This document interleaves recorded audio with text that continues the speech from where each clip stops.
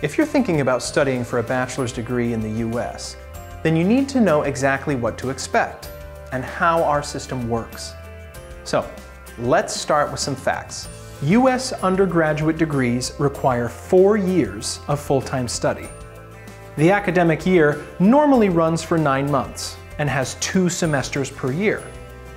In America, the first year of your degree is known as the freshman year, the second as the sophomore year, the third as the junior year, and the final as the senior year.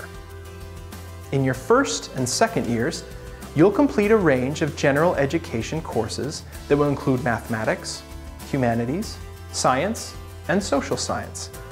This will give you a broad knowledge base before you decide to specialize. And this is a very important advantage of a US bachelor's degree, as only at the end of your second year will you usually declare your major, or in other words, choose your specialist subject. You'll earn academic credits for each course you study, and there are usually three to four credits per course.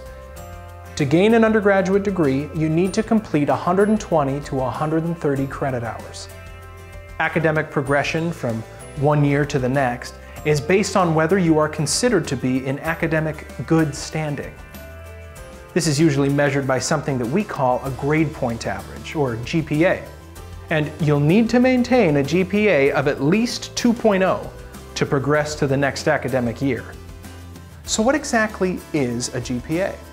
Well, a GPA is the calculated average of the grade you receive from your course.